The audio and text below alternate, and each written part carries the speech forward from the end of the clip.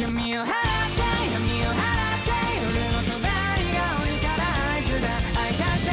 Hola, soy Bash y hola amigos, bienvenidos una vez más a nuestro canal. Y bueno, el día de hoy, como ya es costumbre en el canal, les traigo un nuevo video de Jujutsu Kaisen. Así es, en esta ocasión estaremos hablando de un tema bastante interesante, que es el posible regreso de Satoru Gojo después de su batalla con Sukuna, ya que sin duda alguna, uno de los comentarios más recurrentes después de la muerte de Gojo es si este tiene posibilidades de regresar. Y en este video más que nada analizaremos qué tan posible es este escenario y cuál sería la razón por la cual Satoru Gojo podría regresar al manga. Pero bueno, ahora sí, sin nada más por añadir, comencemos de una vez. Y bueno, primero que nada en este video vamos a analizar si el regreso de Satoru Gojo es lógico o es posible dentro del universo de Jujutsu Kaisen. Y esta es una de las razones precisamente por la que el regreso de Satoru Gojo cobra mucha fuerza. Y es que en el pasado Satoru Gojo ya ha resucitado prácticamente. Así es, en Jujutsu Kaisen existe la técnica inversa con la cual un personaje es capaz de regenerarse de sus heridas. Y precisamente un joven Satoru Gojo cuando se encontraba al borde de la muerte fue capaz de desbloquear esta técnica con la cual a pesar de que también tenía heridas que podrían haber matado a cualquiera, este regresó una vez más. Además de que una de las cosas que se menciona en el manga una y otra vez con respecto a esto es que para que puedas acabar completamente con un hechicero que puede utilizar la técnica inversa, lo que debes de hacer principalmente es exterminar su cabeza. Y la verdad es que Jeje se ha cansado de decir este comentario, lo dijeron tanto en ese flashback de Gojo como en el transcurso de la historia de Jujutsu Kaisen, además de que incluso después de la muerte de Satoru también se ha repetido una vez más, es decir, tienes que destruir la cabeza del personaje para que puedas confirmar su muerte. Y de inicio esta es una de las razones principales por la que sin duda alguna el, el regreso de Satoru es bastante probable. Obviamente los que argumentan que ya está muerto y no se puede hacer nada, hablan acerca de que el daño recibido por Satoru después del corte de su cuna ha sido bestial, es decir, prácticamente fue una muerte instantánea, porque como sabemos Sukuna partió a la mitad a Satoru, y sin duda alguna ese puede ser un argumento bastante fuerte. El único problema es que también con la otra resurrección de Gojo tenemos heridas realmente catastróficas que como mencioné antes pudieron haber asesinado a cualquier humano normal, además de que si hacemos una comparación en ese punto Satoru Gojo se encuentra en un punto completamente diferente de su habilidad, ya que sí, como mencioné antes, la primera supuesta muerte de Gojo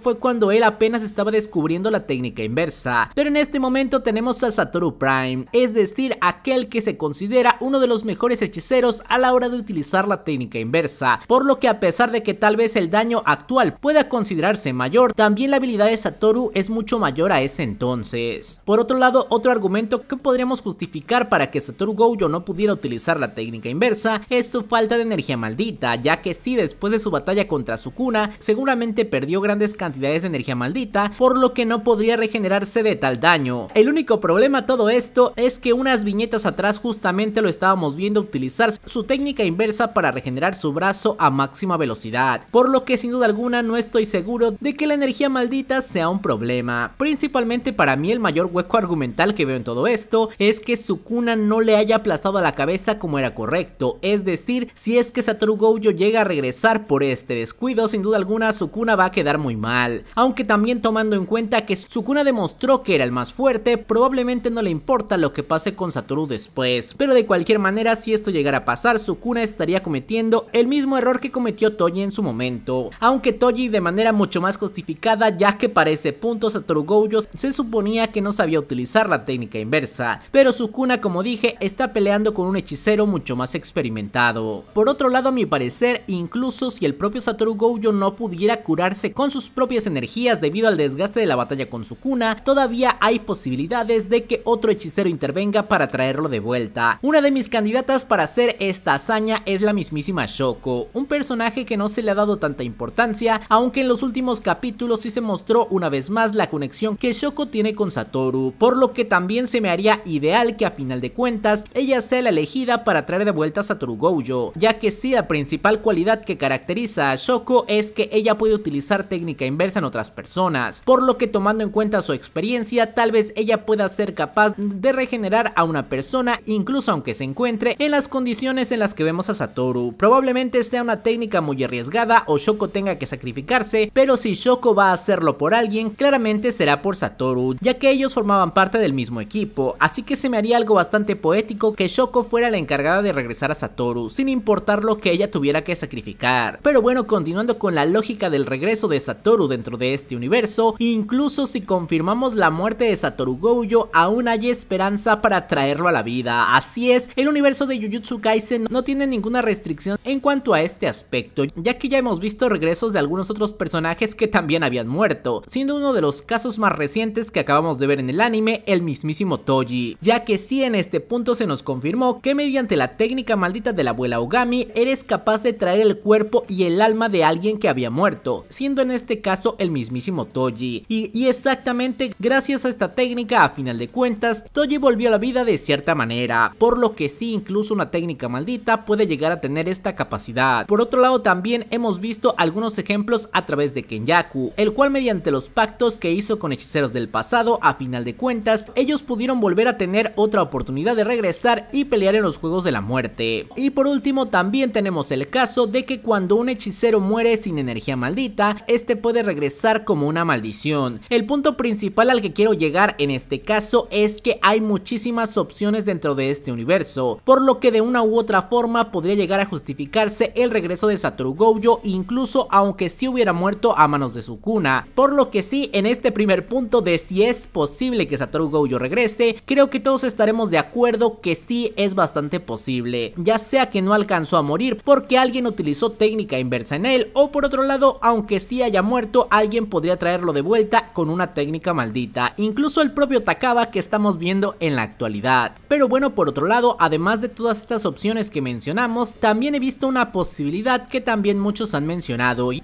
esta hace más referencia a una posible reencarnación o algún tipo de habilidad de los seis ojos, esto siendo directamente conectado al limbo donde vimos a Satoru Gojo, ya que un aspecto muy importante de todo esto es que como recordaremos cuando Sukuna asesina a alguien que respeta, este incluso tiene una conversación con ellos en el limbo, caso que vimos con el mismísimo Yogo y posteriormente con Kashimo, en donde en este limbo que simboliza la muerte, Sukuna tuvo la capacidad de hablar con ellos cuando se fueron al más allá. El único problema a todo esto es que cuando vimos el limbo de Satoru Gojo, este se encontraba en un aeropuerto, pero se encontró con sus seres queridos en lugar de encontrarse con el propio Sukuna. Esto quiere decir que Sukuna no pudo tener acceso a este limbo o que realmente a final de cuentas este era otro tipo limbo. La verdad es que este aspecto no queda claro, pero bueno lo que es realmente importante es el lugar en el que aparece Satoru Gojo, ya que este aparece en un aeropuerto, lo cual claramente simboliza que él estaba a punto de partir hacia el más allá, es decir se encontraba en espera de cumplir ese objetivo, e incluso en este limbo Nanami menciona algo extremadamente interesante, y es que podría llegar a tener dos opciones, es decir ir al norte o hacia el sur, donde a la vez podrían existir dos posibilidades, es decir que su alma se perdiera por completo y renacer como alguien totalmente nuevo, por otro lado regresar como él mismo. La verdad es que también este simbolismo podría ser bastante importante para el regreso de Satoru Gojo y entender cuál es la decisión que este pudo tomar a final de cuentas, aunque bueno claramente debería haber una justificación mucho más adecuada sobre por qué Satoru Gojo estaría regresando, pero como mencioné esto es posible. Y bueno ya dejando todo esto en claro, es decir que Satoru sí puede regresar, ahora pasamos con la siguiente pregunta importante, es decir, ¿por qué debería regresar Satoru Gojo?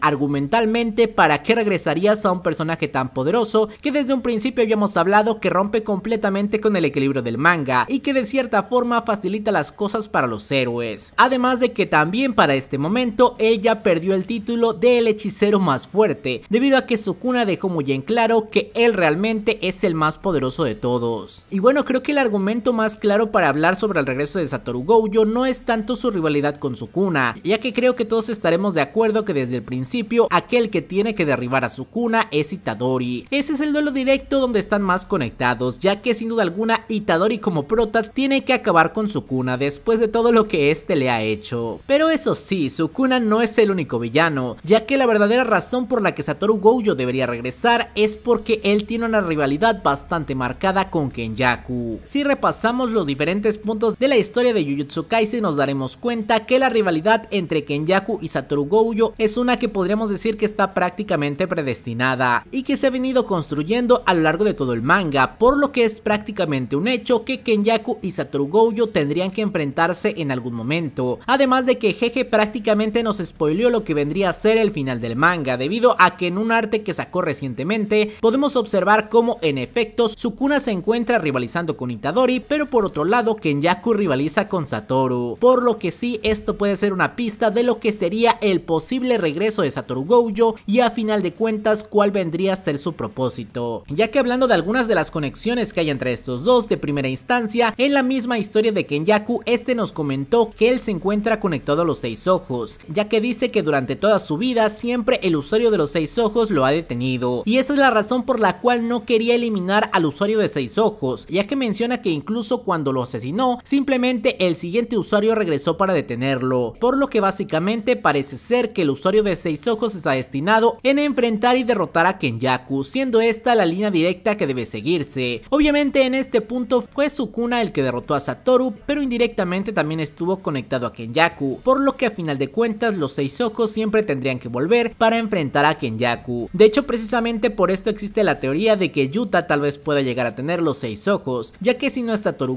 Tal vez Yuta pueda enfrentarlo. Obviamente esta es una posibilidad interesante ya que Yuta y Kenyaku también parecen enemigos directos, pero aquellos que tienen más historia y trasfondos sin duda alguna serían Satoru con Kenyaku, ya que otra cosa que hizo Kenyaku lo cual hace conectar todo esto aún más es que precisamente tomó el cuerpo de Geto, el cual sabemos que es prácticamente el alma gemela de Satoru, por lo que sí debido a esto Satoru Gojo tiene cuentas pendientes con Kenyaku, es decir a pesar de que a final de cuentas podríamos decir que su batalla con Sukuna está cerrada debido a que este demostró su poderío, su batalla contra Kenyaku aún está demasiado abierta, ya que de primera instancia Satoru Gojo tenía el objetivo de dejar descansar el cadáver de Geto y esto es algo que tenía que cumplir, incluso si él tenía que descansar junto a él, es decir la relación entre Satoru y Geto ha quedado muy clara a lo largo de toda la historia, incluso tenemos una escena que hasta el momento no ha tenido relevancia pero que podría cobrarla en determinado momento y es cuando Satoru Gojo estaba a punto de ser sellado, en ese momento observamos como el cuerpo de Geto y fragmentos de su alma intentaron detener a Kenyaku, aunque obviamente Kenyaku logró imponerse, pero desde ese momento se nos demostró la estrecha relación que hay entre Satoru y Geto. Por otro lado también un aspecto que quedó muy pendiente es cuáles fueron las últimas palabras de Geto hacia Gojo y creo que eso también tendría que resolverse en una hipotética batalla de Kenyaku contra Gojo, así que a final de cuentas, además de que es posible regreso de Gojo, también tendría un propósito importante. Creo que el único problema que puedo encontrar de todo esto y de su posible regreso es que Kenyaku hasta el momento no se encuentra al nivel de Satoru Gojo, por lo que si este regresa para enfrentarlo, técnicamente tendríamos una masacre, es decir, Satoru acabaría fácilmente con Kenyaku, y es que él mismo lo ha aceptado en múltiples ocasiones, es decir, Kenyaku no tiene el nivel para enfrentar a Satoru y por eso siempre andaba junto a Sukuna, para que Satoru no lo tomara por sorpresa. Pero bueno, para esto Kenyaku tiene muchos planes de contingencia, y uno de ellos y el más claro es el ser supremo que piensa crear, y creo que de aquí es donde surgiría el máximo versus de Satoru Gojo contra Kenyaku, ya que una de mis teorías es que a final de cuentas Kenyaku no será capaz de acabar con todos los jugadores de los juegos del sacrificio, por lo que agregando algunas últimas reglas, tal vez este pueda forzar la finalización del juego, y a final de cuentas, a pesar de que su plano salga al pie de la letra, este sí va a poder crear un ser supremo incluso incompleto, pero de cualquier forma siendo extremadamente poderoso, y este ser supremo hasta el momento no tendría un rival directo, siendo aquel que debería enfrentarlo el mismísimo Satoru Gojo, ya que sí, incluso para ese momento tal vez podríamos ver a un Satoru Gojo a su máxima potencia, ya que sí, solo pocas veces hemos visto a Satoru Gojo pelear con todo lo que tiene, una de ellas fue precisamente después de la resurrección que tuvo contra Toji, por lo que podríamos ver un escenario similar, es decir, ver pelear a Satoru Gojo con su máxima potencia contra el ser supremo creado por Kenyaku, siendo esta ahora sí la batalla final de Jujutsu Kaisen. De hecho, siempre me pregunté después de estar viendo la batalla de Sukuna contra Gojo cómo es que Jeje pensaría superar todo esto para una hipotética batalla final, y sin duda alguna la batalla de la maldición suprema contra Gojo liberado sería una de las más impresionantes que veríamos en Jujutsu Kaisen, donde se podría llevar a tope los niveles de poder. Pero bueno, sin duda alguna, este es un escenario que sí o sí quiero ver. Y personalmente yo creo que hay grandes posibilidades de que Satoru Gojo regrese a final de cuentas. A mi parecer Jeje dejó muchos huecos en su muerte y precisamente por esa razón creo que él puede estar planeando su regreso en algún momento. Obviamente como dije lo separó de su cuna ya que creo que es el deber de Itadori ganar, pero por otro lado también Gojo tiene muchas cuentas pendientes y él tendría que regresar para cumplirlas. Pero bueno, me encantaría que ustedes me dejen su opinión en los comentarios, qué piensan acerca de esta posibilidad. ¿Creen que Satoru Gojo va a regresar a enfrentar a Kenyaku? Déjenme su opinión en los comentarios. Y bueno, ahora sí de esta manera terminamos el video, pero antes de despedirme quiero agradecer a todos los miembros del canal que siempre nos están apoyando. Y muchas gracias a Manuel Castro de Loco Steve, Dr. Blastoise, Orlandos, Alcojo Gamers, Geraldo González, Soca Skinny, José Luis Carrillo, Oscar de Beyonder Lauti, Félix Dante, Jaciel GL, Caboyat24, Luis Rodríguez, Alex Gamer, Irving Sánchez, Alex Pilo, Rain505, Rodrigo García, Fanny Morales y Jonathan B. Y ahora sí, sin nada más por añadir, adiós.